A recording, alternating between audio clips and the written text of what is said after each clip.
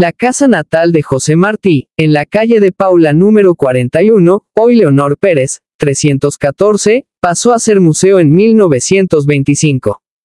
Hasta entonces ese inmueble recorrió un azaroso camino y otro no menos incierto le tocaría conocer durante varios años más. La familia Martí Pérez abandonó esa casa cuando el apóstol de la independencia de Cuba tenía unos tres años de edad. Ya muerto Martí, doña Leonor, su madre, regresó al lugar. Atravesaba una situación económica difícil, volvía viuda y casi ciega. No pocos cubanos, agrupados en la Asociación por Martí, quisieron adquirir la casa, pero tropezaron con la negativa rotunda de los propietarios del inmueble. El interventor militar norteamericano Leonardo Wood se ofreció entonces para mediar en el asunto y comprarla, pero los de por Martí rechazaron su propuesta y llamaron a una suscripción popular para la adquisición y procurar al mismo tiempo alguna ayuda material a doña Leonor. Unos 25 años después de que la humilde casita de la calle Paula fuese adquirida por el pueblo de Cuba, abrió sus puertas allí el museo. No acabaron ahí las vicisitudes. Siempre corta de presupuesto, la instalación apenas contaba con los fondos necesarios para pagar a sus empleados y mucho menos para su conservación y mantenimiento. La sentida colecta organizada entre los niños cubanos, que aportaron un centavo cada uno para la casa de Martí, palió en un momento la situación, pero no resolvió el problema. A fines del siglo XIX, cuando la casa natal no era un patrimonio de la nación, la emigración cubana de Cayo Hueso colocó en su fachada una tarja conmemorativa que dejó constancia del nacimiento en el lugar del héroe nacional de Cuba. La develación de esa sencilla lápida fue el primer homenaje público que se rindió en Cuba a José Martí, y, supongo, el primer monumento con que contó en su tierra. Música convertida en piedra. El escritor Alejo Carpentier dijo que la fachada de la Catedral de La Habana era música convertida en piedra. Otro grande de nuestras letras, José Lezama Lima, aseguraba que las curvas exteriores del frente de aquel edificio, que se haya enclavado, decía, en la zona del primer hechizo habanero, remedaban las vueltas del oleaje marino. De cualquier forma, la monumental fachada barroca del templo es considerada la más hermosa y acabada de la Cuba colonial, y contrasta con la sobriedad neoclásica de sus interiores. Lo que después sería la Catedral de La Habana fue, en sus orígenes, comienzos del siglo XVII, una pequeña ermita que los jesuitas consagraron a San Ignacio de Loyola se convertiría, con el tiempo, en oratorio mayor de esa congregación religiosa hasta que sus miembros fueron expulsados de los dominios españoles. Entonces ocupó su espacio el seminario de San Carlos y San Ambrosio. La consagrarían como catedral en 1789, cuando la isla quedó dividida en dos diócesis, la de Santiago de Cuba, que ya existía, y la nueva, de La Habana. Cuando en 1796, después de la llamada Paz de Basilea, España cedió a Francia su colonia de Santo Domingo, los restos del almirante Cristóbal Colón, que descansaban en la isla vecina, fueron depositados en la Catedral de La Habana, junto al altar del Evangelio, bajo una lápida que decía, Oh restos e imagen del grande Colón, mil siglos durad guardados en la urna.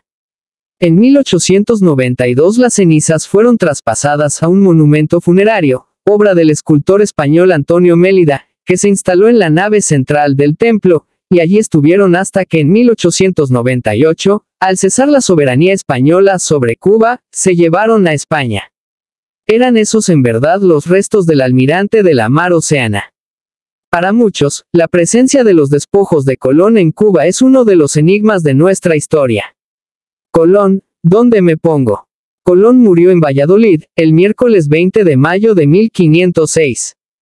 Allí, en efecto, hay una casa con una lápida que dice, aquí murió Colón. Se le dio sepultura en la capilla de San Juan de la Cerda. Fue un enterramiento provisional, pues en 1509 se transfirieron sus restos al monasterio de las Cuevas, en Sevilla. Tampoco este sería el sitio definitivo, ya que entre 1537 y 1559 se llevaron a Santo Domingo los despojos del almirante a fin de que descansaran junto a los de su hijo Diego, su hermano Bartolomé y sus deudos don Luis y don Cristóbal. Desde allí, como ya se dijo, viajaron a La Habana y luego a España. Esta historia se vio perturbada en 1877 cuando Monseñor Roque Coquia, delegado apostólico en Santo Domingo, declaró haber encontrado en la Catedral Dominicana la tumba del almirante. Al decir de Coquia, los restos de Colón nunca salieron de ahí. Siguiendo su versión, a La Habana debieron llegar los de su hijo Diego, bien por error o por la voluntad deliberada de los padres dominicos que custodiaban la catedral en el momento en que se decidió el traslado, deseosos de conservar los preciados despojos. De esos restos hay parte en Venezuela y también en las ciudades de Génova y Pavía. Para algunos, las revelaciones de Monseñor Coquia no merecen crédito alguno. Para ellos, los restos de Colón son los que estuvieron en La Habana y reposan ahora en Sevilla. Otros son de la opinión de que las cenizas verdaderas no salieron nunca de Valladolid y no faltan los que aseguren que se encuentran en el monasterio sevillano de las cuevas. Algunos más las ubican en Puerto Rico o en el lugar más imprevisible. El italiano Paolo Emilio Taviani, una autoridad insuperable en lo que a la vida del almirante se refiere, es del criterio de que los restos de Colón son los de Santo Domingo. Al igual que su lugar de nacimiento, la muerte del descubridor sigue estimulando la mitología y la fábula. Cosas de la historia. R con R carril. La estación central de ferrocarriles, enmarcada por las calles Ejido, Desamparados, Factoría y Esperanza, se inauguró el 30 de noviembre de 1912.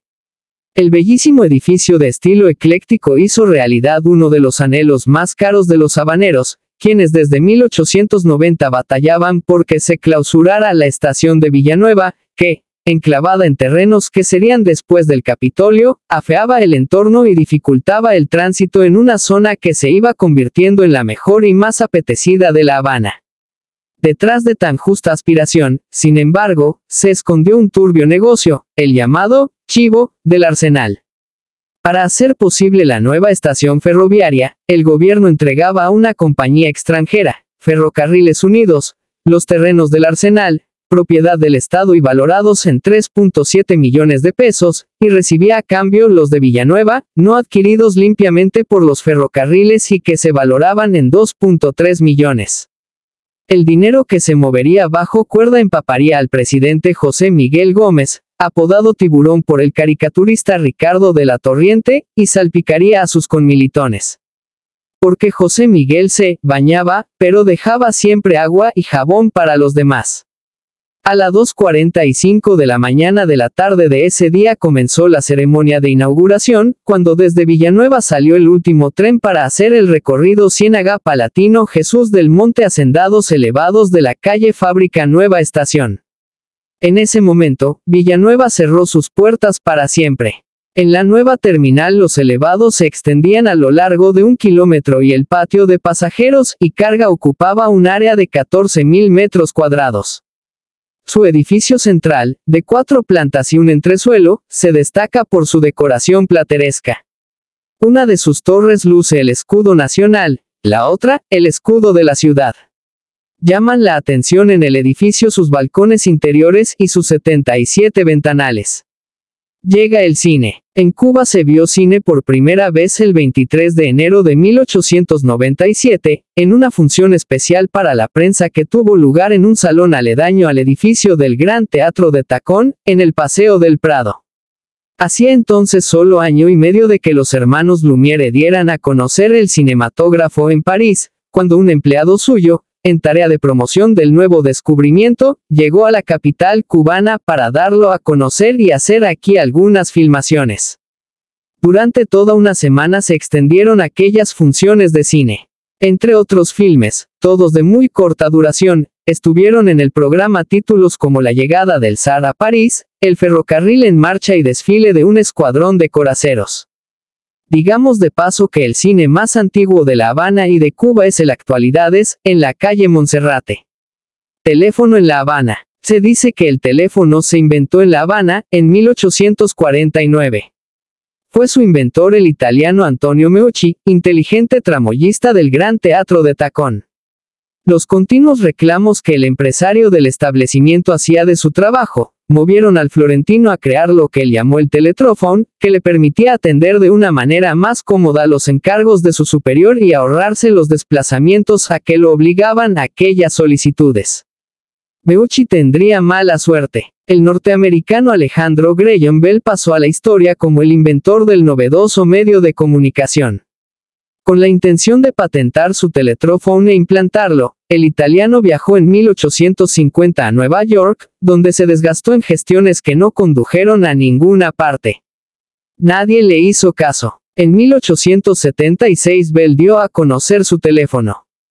Quiso Meucci demostrar entonces la prioridad del suyo y no lo logró hasta 1886, cuando la Corte Suprema de Estados Unidos dio por comprobada la anterioridad del teléfono de La Habana y le dio la razón. Ya era tarde, sin embargo. Para esa fecha se extendía el uso del teléfono de Bell y Meucci fallecía poco después, loco y en la mayor miseria, tras 36 años de trámites inútiles. El teléfono llegó a Cuba en 1879, tres años después de haberse inventado. Desde entonces y hasta los primeros años del siglo XX la red telefónica de La Habana operó unos 1.775 aparatos con un sistema manual. En 1910 se instala la telefonía automática en la isla. Eso quiere decir que fuimos los cubanos los primeros en el mundo en disfrutar, en llamadas locales, de esa maravilla de levantar el tubo del auricular, discar y recibir desde el otro lado de la línea la respuesta del número marcado sin necesidad de operadora ni intermediarios de ningún tipo.